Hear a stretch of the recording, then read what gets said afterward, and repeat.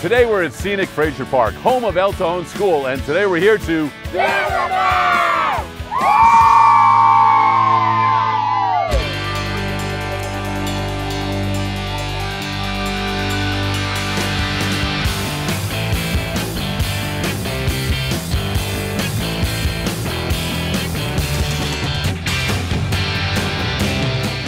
All right, today we're at El Tejon School, and right now I've got Emmitt, a sixth grader.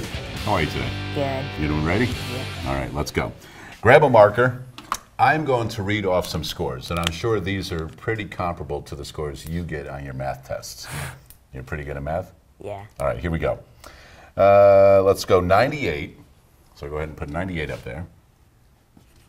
And we're going to add these numbers. Okay, so you can write them however you want to, horizontally or vertically, to do this. 97, 92, 85, and 93. So those are the scores on five tests. What we'd like to know is what was your average for all of the tests? Okay. So as you do this, go ahead and explain to me what you're doing. 5 plus 3 is 8, plus 2 is 10.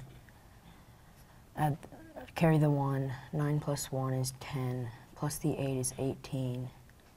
Um, 18 plus 9, or 8 plus 9 is 17, plus 10 is 27. Good. An easier way of doing it. And then 8 plus 7 would be 15. Carry the 1, 18. 9 plus 9 is 18.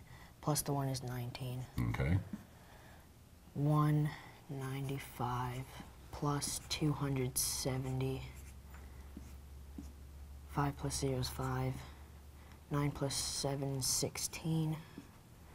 2, 2 plus 2 is 4. Okay. So the total is 465 out of all of these. And what I like is how you broke this up into chunks. Instead of adding a lot of numbers, you just broke it up to make it a little easier. So now we have 465, but we want to know the average of your scores. So like, let's say they put it on the report card, they want to know what you average. What's the next step? 465 divided by 5. Right. And how do you know that you divided by five? By how many uh, numbers there were to add. Right. So 465 divided by five. 5 can't go into 4, so 40, 5 goes into 46 nine times, which would be 45. 9 times 5 is 45. Subtract would be 15. Br- You have to bring down the 5. Okay. And then 5 goes into 15 three times, which would be 15. M- Subtract that, 0, so there is no remainder. 93 is my average. So is that your real average in math, do you think, right now? 93? Or is it higher? I think it's higher. It's higher? All right. Well, you know what, Emmitt? Nice job. Well done. Thank you.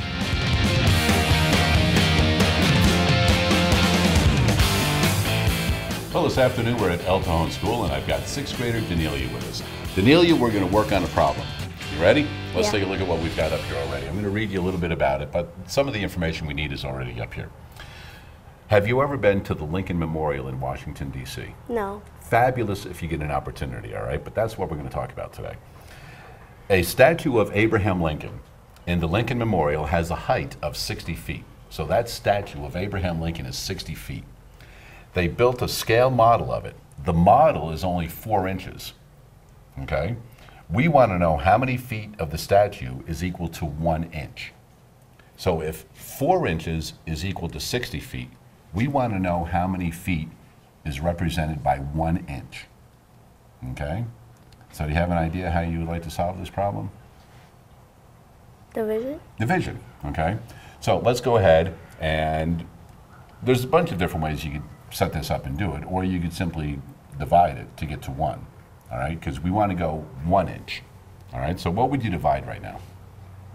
60 divided by 4. Okay, so go ahead and grab a marker and go ahead and start doing that.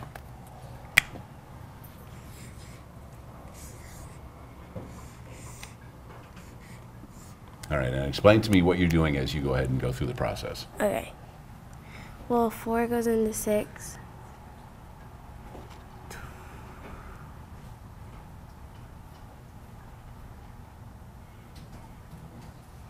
You'll only go in one time, right? Because four times two is eight, and that's too Yeah. much, right? So it'll only go in there once, okay? which is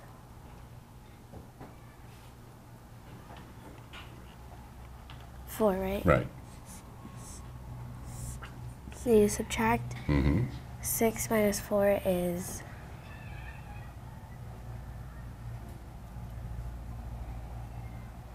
two. Mm-hmm. And now what do you do? Then you bring down the zero. Perfect. Four goes into twenty.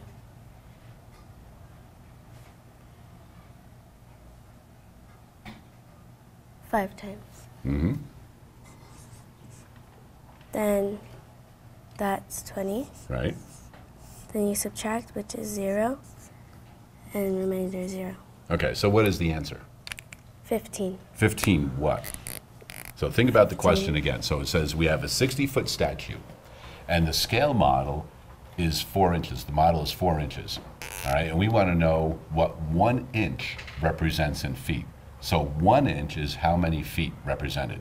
15 feet. 15 feet. So over here on the side, let's go ahead and put 15 feet. And that is the scale. One inch is representative of 15 feet. So the scale would be one inch to 15 feet. Daneilia? Nicely done.